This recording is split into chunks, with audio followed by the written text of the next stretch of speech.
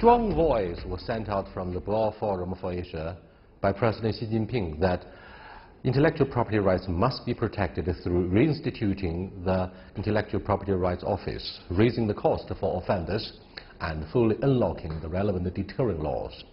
Now, according to the statistics of the World Intellectual Property Organization, China has eclipsed Japan to rank second among countries filing international patent applications and is likely to surpass the United States as the first in three years' time. However, the U.S. is accusing China of stealing American ideas. Concurrently, China is still under the 301 investigation and has suffered additional tariffs for the same reasons to have a deep understanding on those issues and more today, I'm very happy to sit down with Mr. Francis Gurry, who is the Director General of the World Intellectual Property Organization. This is a Dialogue. I'm Yang Rui.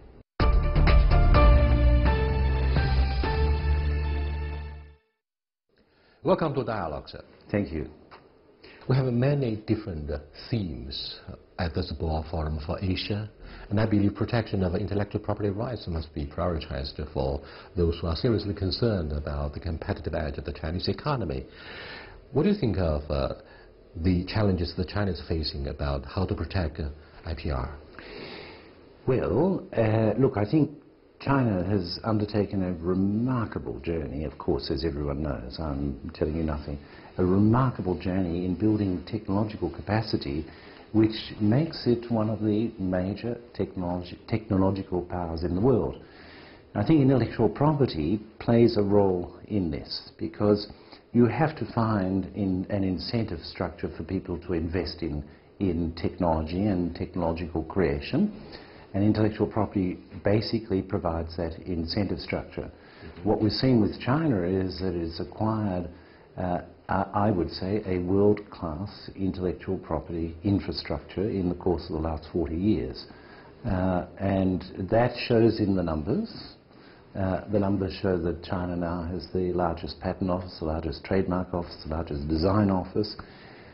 It's a, uh, the third largest filer of international patent applications. Um, it's the third largest filer, second largest filer, sorry, the third largest filer of international trademark applications.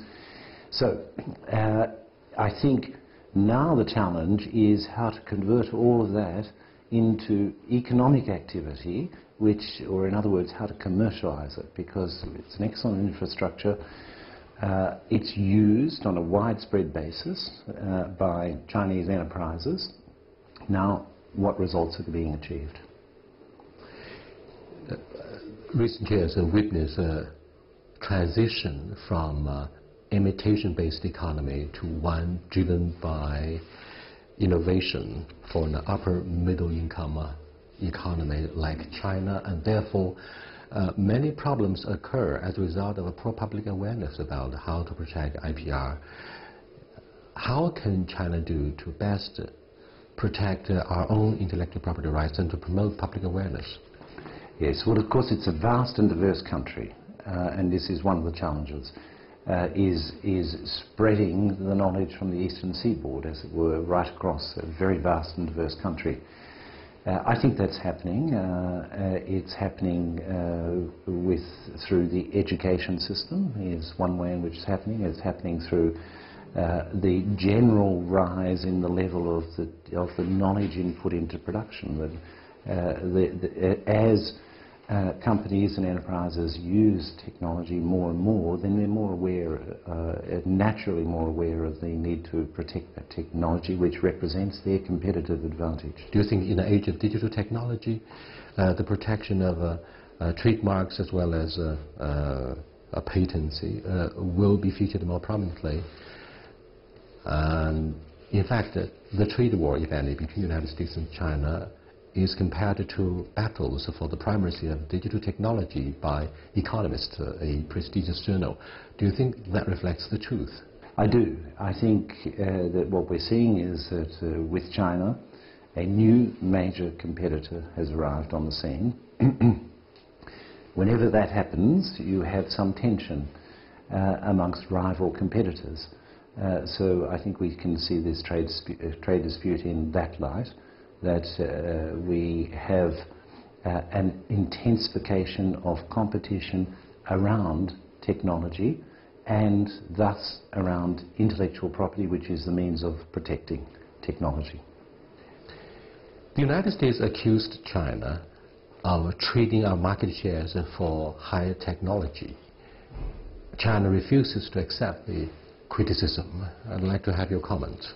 And I can't make any comment on uh, the substance of a dispute between, after all, two member states of our organization and uh, the World Intellectual Property Organization. Uh, it's their business. But what I think one can say is that it, uh, although this is a bilateral dispute between two parties, it does have multilateral implications. Mm-hmm. Because this is a dispute between the two largest technology producers in the world. Uh, so that must have implications for the rest of the world. Furthermore, it's a dispute that's taking place in a globalized context. So the world economy now is globalized, of course. So uh, this will affect, or may affect, depending on how far the dispute goes, global value chains. And global value chains are quite complex and they will involve more than just the two parties. Uh, so I think it's everyone in the world is concerned about this and would like to see it resolved uh, as quickly as possible, possible and uh, as well as possible. Do you think this uh, concern about IPR protection is also shared by Europeans? Uh, taking Germany as an example, uh, uh, this is the economy that has exported most of the advanced high technologies to China, but at the same time they could hardly conceal their concerns that legislatively China uh, might uh, protect more of their patents, trademarks, or whatever intellectual property rights? Well, let me put it this way. I think Germany, in particular, and Europe more generally, are also major competitors in this field. Then I think what you have is that the competition plays out right across the, right across uh, uh, the scope of the capacity to develop technology. So you have competition in relation to human resources, for example. Uh, competition between research institutions and companies for those human resources. You have competition in, in relation to the regulatory infrastructure, and that's what we're seeing here with this particular trade dispute. Uh, so I think that uh, in the case of Germany, they have expressed concerns about foreign investment. Uh, they're not alone. Other countries have expressed uh, concern about foreign investment. But let's look at the situation of the world as a whole, and we find foreign investment going on from all countries. Uh, and naturally, as technology becomes a more and more important part of the economy, uh, acquisitions and foreign investments are targeted on technology-specific companies. Uh, so I would see it as, as part of a general intensification of competition which is becoming more fierce and centered on technology. We see entirely two different trends in the age of globalization.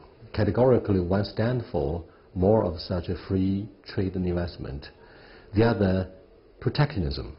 Do you think the issue of IP protection has been abused by politicians in times of crisis to promote the trade protectionism? Taking the United States as an example, Mr. Trump wants to put America first, buy America, hire Americans, uh, and therefore uh, we have fallen victim to such waves or tsunami waves of uh, trade protectionism. I think we're all concerned uh, that the forces of protectionism are rising around the world. Um, and we're all concerned that this is part of uh, a closure rather than an opening of the world economy. We've experienced several decades of opening of the world economy. I don't think there, it's in anyone's interest to see a closing of the world economy, and protectionism points in this direction. Uh, I think uh, there is also waves across the world of populism. And populism generally exploits an easy target uh, to uh, uh appeal to its constituencies.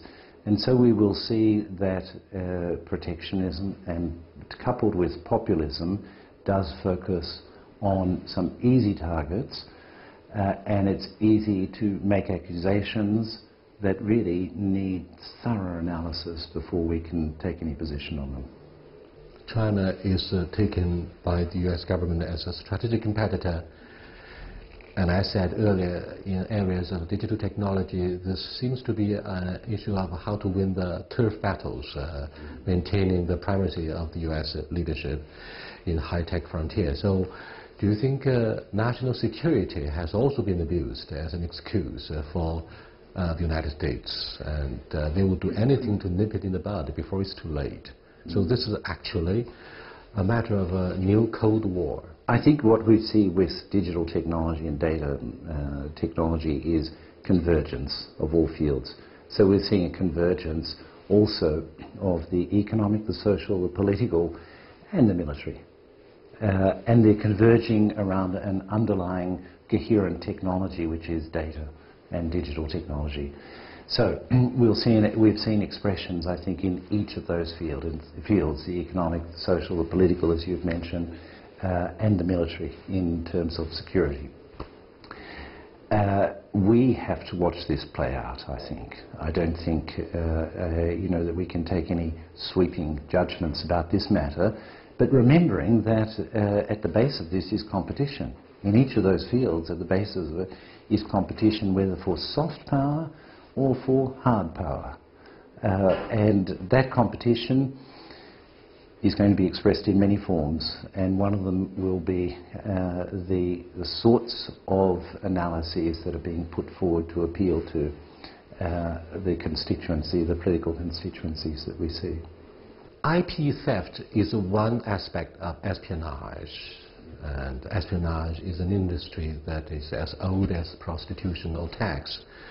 Therefore, uh, do you think uh, politicians or those responsible politicians should somehow tone down the spicy battles concerning uh, uh, online theft or online espionage so that they would conduct uh, strategic and economic dialogue to sort it out instead of uh, singling out the emerging market as the target to bash the catch-up economy. Yeah, well, I think we all have an interest in a globalized economy uh, in seeing a rational, uh, cool dialogue takes place, take place between competitors and to ensure that competition doesn't move to the dark side.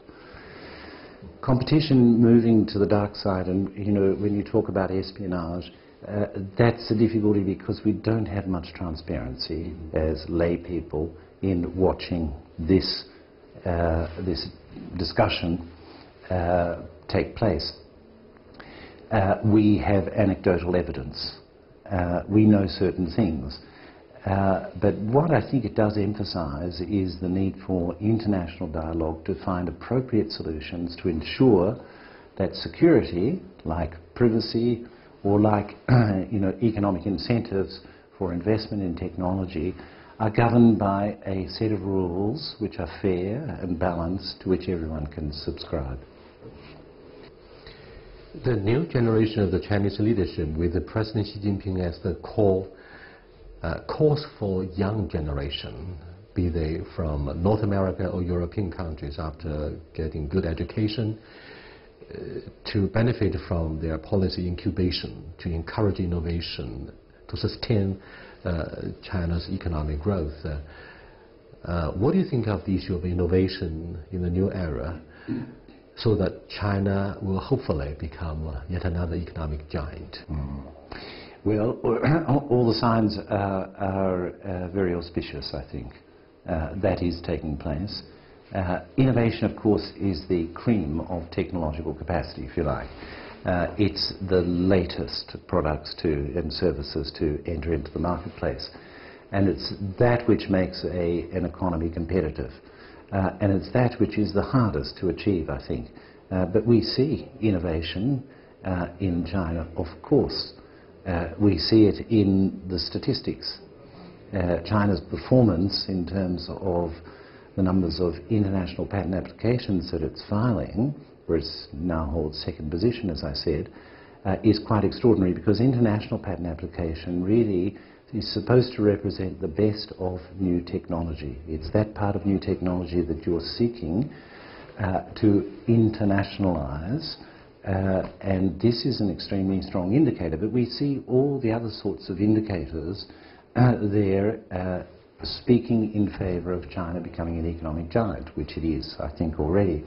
Uh, namely, number of scientific uh, publications, amount invested in research and de uh, development, the strength of its educational institutions, uh, the, the fact that a number of Chinese enterprises are now global enterprises with, with a huge reach and a huge power. So I think innovation is uh, the secret. It's what everyone is trying to achieve. Uh, and China is performing in this respect exceptionally well. One of the major reasons uh, that have triggered, one of the reasons that has triggered the current uh, trade standoff between the United States and China is that uh, most Americans disagree uh, to the way that the Chinese government runs the economy in, uh, uh, in the context of WTO negotiations and rules of this World Trade Body, saying uh, the uh, innovative industry should be uh, very much driven by the market forces instead of industrial policies of the central government. The, against the background of China's traditional culture, of course, the strong government plays a pivotal role in building incubation and in attracting talented professionals from uh, uh, the other side of the Atlantic Ocean or Pacific Ocean. So what do you think of uh, this current raging debate as to whether the government should pour more resources into incubation and innovation, or it's very much an issue of uh, non-government forces? Uh, sorry, uh, very much an issue of government forces. Look, it's a very interesting question, extremely interesting question, if I may say. Uh, there's no economy that doesn't have significant government investment in uh, innovation and, and in building technological capacity. Uh, the United States government, for example, invests heavily in health technology, it invests heavily in a whole range of other fields of technology. Roughly, uh, across OECD countries, it's about 60 to 70 percent business investment uh, in the creation of new technology and about 30 to 40 percent government investment. So it's a question of degree then. Fifty Shades, Fifty Shades, very good liquor. so it's a question of degree. Um, and of course, there are different approaches of political economy. One of the very interesting things, I think, uh, in observing the world at the moment is that the two major technological powers, namely the United States of America, which I think is still out in front, and then China, have completely different approaches to this question of building technology, uh, technological capacity and innovation. Completely different. So in the United States of America, for example, uh, a report from the National uh, Academies of Science has said, well, actually, uh, it, it doesn't really have a system. The United States doesn't have a system in the sense that there's not one single authority that is setting a strategy. It's nevertheless the highest performer in the production of new technology in the world. Uh, and on the other hand, you have the Chinese system, which is very much led from the top, a strong leadership focus on innovation and the building of technological capacity to enhance the competitiveness of the Chinese economy. So two completely different approaches, both work. Thank you so much, Francis, uh, for being with us. Uh, you are watching Dialogue with Mr. Francis Gurry, a very senior expert on protection of intellectual property rights. We are able to interview him uh, discussing whether China will be able to win the uphill battles in not only protecting its own uh, uh, knowledge-related economy, but also uh, the patency and the high technology that the Europeans and Americans are seriously concerned uh, in the new era of competition. Uh, stay with us, we'll be right back. Welcome back, sir. Thank you. Um, so what do you think of the role that China plays in this age of globalization? And that's a very tricky issue, right? Well, look, I think China is a, a, assuming a leadership role that is very much welcome. Uh, so it's the second largest economy in the world, uh, as we've discussed. It's the second largest producer of technology in the world. Uh, with that comes certain leadership, I think, uh, obligations and responsibilities and it's very much welcome to, uh, I think, to be welcome to see China assuming these uh, leadership responsibilities. So, what are the major issues on your agenda each day? Since you have so many catch-up economies, uh, they all have the problem of uh, transition. Uh, how to transform themselves from uh, low-income catch-up economies to an industrial nation. Industrialization would, of course, mean you uh, change from, you have the shift from labor-intensive, low-value-added industries to one driven by high technology. And therefore, do you think you have more of such lawsuits from uh, developing countries where you'll see more of such uh, foreign direct investment? And most of such investment would be related to high technology. Look, um, I think you put your finger on one of the major challenges that we have, which is the differences in technological capacity around the world. This is the great differentiator, actually, in economic performance and uh, uh, in, around the world. So uh, the problem is that the acquisition of technological capacity is a long-term game. It's not something that can happen overnight. Now, in China, we have seen it happen extraordinarily quickly. But uh, for most economies in the world, there are very few graduates in this process. China is one. The Republic of Korea is another graduate in, uh, over this period. Singapore, to some extent, is a graduate uh, in, in this regard. Uh, but the number of examples is very limited, and that's because it really involves such a massive effort right across the economy. Uh, and it involves a strategic leadership which we've seen play out in China in a, in a, in a, in a, massive way, which is, has been exceptionally important to the development of this capacity in China. But we're left with a situation of great asymmetries or differences. For example, United States of America will spend about 540 billion United States dollars on the creation of new knowledge, research and development. China will spend uh, this year uh, nearly 420 billion United States dollars on research and development as the second largest investor in research and development in the world. That's more than the GDP of about 160 countries in the world. So, in other words, the two largest technological powers are investing more in the creation of new knowledge than 160 countries each have to satisfy all their needs in the public sector from health, infrastructure, defence, security, uh, and so on. So uh, we are left with this situation. We have to work at this and to, I think, encourage countries to undertake this long-term process of building technological capacity, which is your education system, you know, your business uh, and market system, uh, and the knowledge on the part of everyone in the economy of the importance of this sector.